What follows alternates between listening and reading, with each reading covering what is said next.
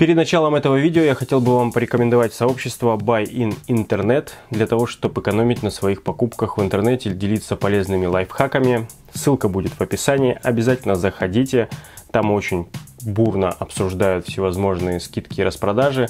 Также можно спросить совета напрямую у шопоголиков. Ну, в общем, я там тоже участвую, свои видосы публикую и общаюсь с людьми, которые, которых интересуют интернет-покупки. Всем привет, дорогие друзья! Сегодня я вам расскажу, как установить кастомное рекавери на смартфон Leica X626 но подобная инструкция будет актуальна и для других версий смартфонов данной марки. Единственное, что разные версии recovery и разные версии прошивки. Все, что вам необходимо сделать, это в первую очередь расслабиться, не напрягаться, досмотреть этот ролик до конца и действовать согласно этой видеоинструкции. Также я обязан вас предупредить, что я не несу ответственности за то, что вы будете делать со своим смартфоном. Данная видеоинструкция является просто показанием моего личного примера как я это сделал и как, я это, как это у меня получилось. Для того, чтобы все прошло удачно, вам необходимо иметь сам смартфон Leica X626, вам необходимо иметь компьютер либо ноутбук на Windows. Обязательно скачать по ссылке в описании на форуме FOPDA драйвера, необходимые для установки, корректной установки всего того, что я буду говорить далее. И также будет по ссылке в описании архивчик, вы его скачиваете, там все необходимое ПО, в том числе необходимое TVRP Recovery. Вы его распаковываете в корень диска C, загружаете в режим Fastboot ваш смартфон. Делается это следующим образом. Нажимаете качельку включения, точнее кнопку включения и качельку регулировки громкости вниз. Смартфон у вас должен зайти вот в такой Fastboot. После этого заходим в компьютер, открываем папочку, которую вы скачали и распаковали в диск C, запускаем adb нижний слэш cmd.exe и проверяем, определил ли наш ПК устройство. Пишем fastboot device.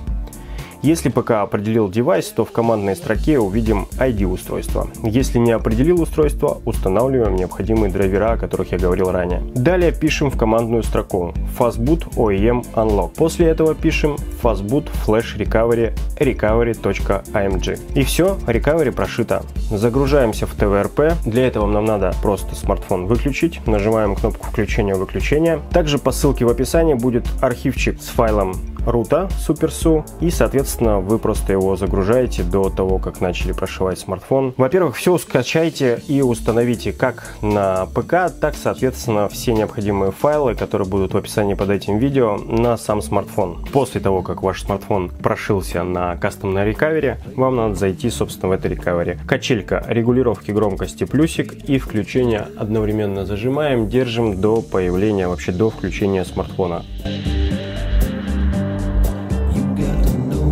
После того, как он включился, удерживаем качельку плюсик.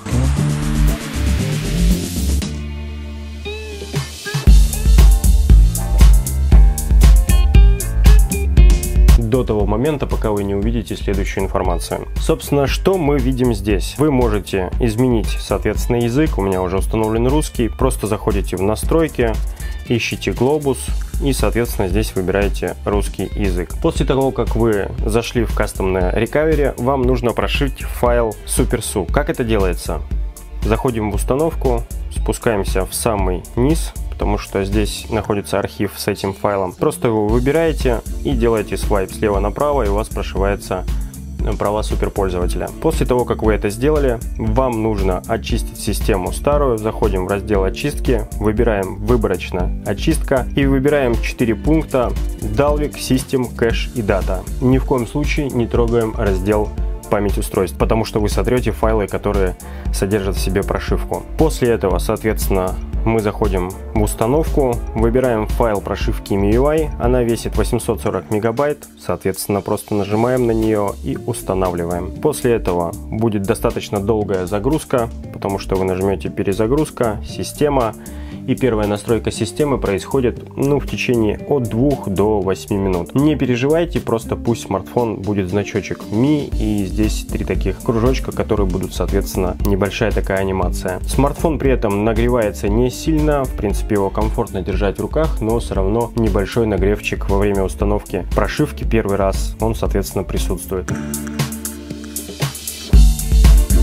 После того, как вы установили прошивку, соответственно, вы начинаете ей пользоваться, происходит первая настройка устройства. Прошивка полностью рабочая, это еженедельная версия, вот с таким вот префиксом. Единственное, что он обозначает модель как X622, но вам должно быть абсолютно все равно. Летает все молниеносно, 4 гигабайта оперативной памяти хватает более чем. Просто установите, вот это рамки экрана, конечно, видны, но просто установите обои. Здесь предустановленные обои, соответственно, есть выбор. Я вот выбираю, допустим, давайте сейчас посмотрим, как с темной рамкой это все будет дело смотреться. Из системных вот такие вот применяем. Применяем на оба экрана и у нас просто не экран, бомба. По, соответственно, всем датчикам и по всевозможным службам и системам. Все работает более чем стабильно. Прошивкой можно пользоваться на постоянной основе. Сейчас у нас просто обновятся системные приложения. Обязательно зайдите в Play Market. И, кстати, да, у вас не будет установлен Play Market. Как это сделать? Также в описании под этим видео будет архивчик APK файлом, просто устанавливаете его, скачиваете на устройство, заходите во внутреннюю память, выбираете Google Installer 3.0 APK, нажимаете установить, даете разрешение на скачку даете разрешение на установку из неизвестных источников и после этого нажимаете клавишу «Открыть». И после этого в течение 2-3 минут он устанавливает Play Market, после этого вы просто этот файл удаляете. Он вам уже в дальнейшем ни к чему. Единственный косяк, который я допустил во время прошивки этого устройства, это я обозначил в кастомном рекавере, что надо установить э, значок приложения и, соответственно, приложение TVRP. Вы просто этого не делаете и во время установки первой перезагрузки после того, как вы установили Custom на Recovery, вы просто не устанавливать, соответственно. Ну и все, Play Market, без проблем, все работает. Телефон функционирует, как я говорил ранее, на 103%. Камера работает отлично, есть HDR. Вообще по быстродействию мне очень сильно нравится.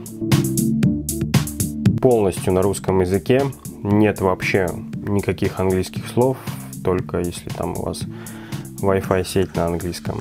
Полностью все поддерживается, то есть это полноценная MIUI 9. Я думаю, что вам этой прошивки, тем более ведет она себя более чем стабильно, вам этой прошивки хватит э, просто-напросто за глаза. Что еще хотелось бы сказать? В первую очередь хотелось бы отметить большое спасибо пользователям форума FOPDA, потому что всю информацию я взял оттуда, просто сделал некую видеоинструкцию и, собственно, демонстрацию того, как это делается не так уж и все это страшно и делается на самом деле быстро. Просто-напросто надо внимательно все несколько раз перечитать и несколько раз хотя бы там раз-два пересмотреть. Поэтому вот так вот. Ну давайте сравним по быстродействию. У меня есть скриншоты. Я прошивкой пользуюсь этой уже порядка больше, чем полсуток.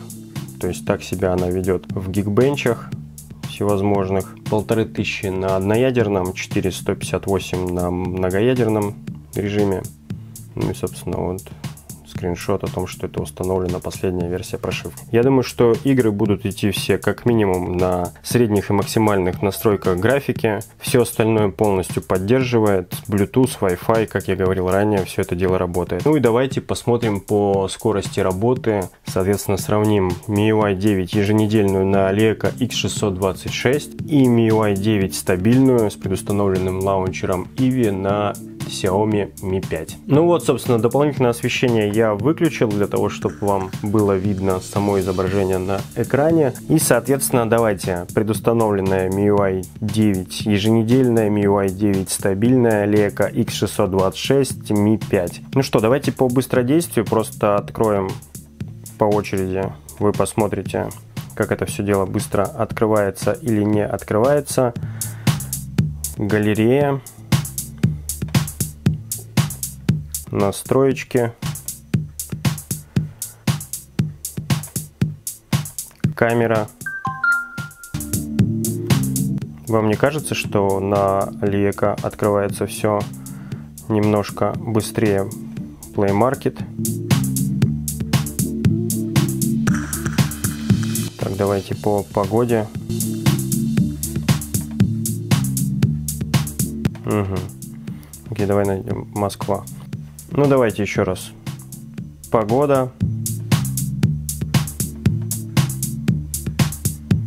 Настроечки. Камера.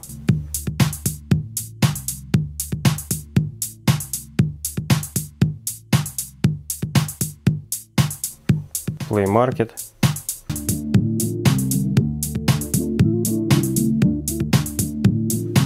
При этом давайте в Play Market посмотрим скроллинг.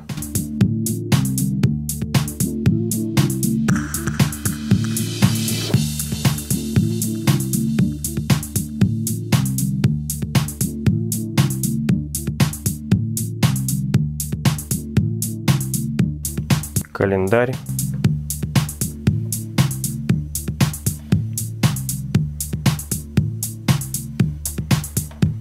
По настройкам.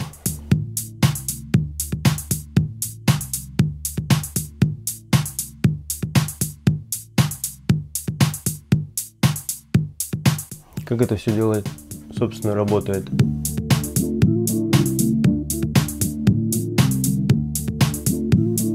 Еще раз камеры. Ну и, собственно, быстродействие. Вернемся это. Ага, здесь вернемся в календарь, здесь вернемся в календарь. Все без каких-либо проблем. Да, есть подтормаживание, причем есть подтормаживание и на Mi 5, и, соответственно, на LeS 3. Будем так его называть. Обновление, все без проблем обновляется, все без проблем функционирует. Полностью рабочая прошивка. Друзья, я постарался сделать для вас инструкцию максимально понятным, плюс сюда немножко приплел сравнение операционных систем, точнее быстродействие операционных систем на прошлогоднем флагмане Mi 5 и на бюджетнике Le X626, Leca X626. Соответственно, от вас лайк, подписка. Обязательно пишите в комментариях. Конечно же, ставьте колокольчик, это важно.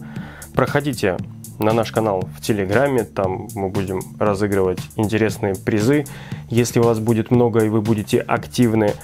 Ну и вступайте в группу ВКонтакте, там вы найдете много всего интересного. Обязательно подпишитесь на ту группу, которую я упомянул в самом-самом начале этого видео.